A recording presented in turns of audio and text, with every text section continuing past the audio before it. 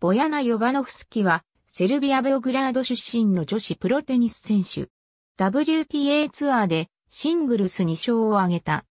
自己最高ランキングはシングルス32位。身長175センチメートル、体重65キログラム。右利き、バックハンドストロークは両手打ち。2016年の結婚後は、夫の姓を併用して、ボヤナ・ヨバノフスキ・ペトロビッチと名乗っていた。ヨバノフスキはコーチである父の手ほどきで7歳でテニスを始め、2007年にプロに転向。四大大会では2010年ウィンブルドン選手権で初出場し1回戦で KC デラクアを6-1、6-0で破り、初戦を突破した。2回戦で第14シードのビクトリア・アザレンカに16、4-6で敗れた。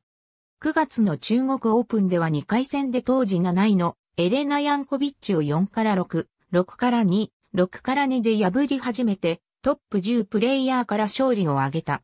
2011年のシドニー国際で予選から勝ち上がり、ベスト4に進出した。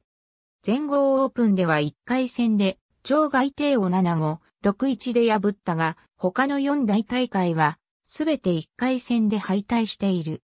2012年7月のバクーカップで初めてツアー大会の決勝に進出し、ジュリア公演を6-3、6-1で破り、ツアー初優勝を果たした。2013年全豪オープンの2回戦で、ルーシー・サファロバを7から5、7から5、3回戦では、クルムダ・テキミコを6から2、7から6で破り初めて4大大会で4回戦に進出した。4回戦では、スローン・スティーブンスに1から6、6から3、5から7で敗れた。9月のタシケント大会で2度目の決勝に進出し、オリが5ボルツワを4-6、7-5、7-6で破りツアー2勝目を挙げた。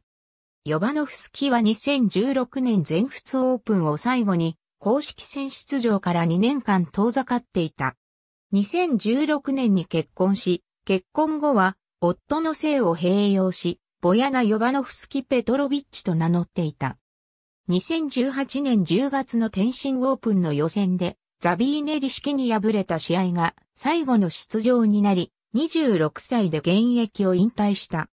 W イコール優勝、F イコール準優勝、SF イコールベスト4、QF イコールベスト8、R イコール回戦敗退、RR イコールラウン敗退、Q イコール予選回戦敗退、LQ イコール予選敗退、A イコール大会不参加、P イコール開催延期 WG イコールデビス、Z イコールデビス地域ゾーン、PO イコールデビス、G イコールオリンピック金メダル、S イコールオリンピック銀メダル、SF、B イコールオリンピック銅メダル、NMS イコールマスターズシリーズから降格、NH イコール開催なし。ありがとうございます。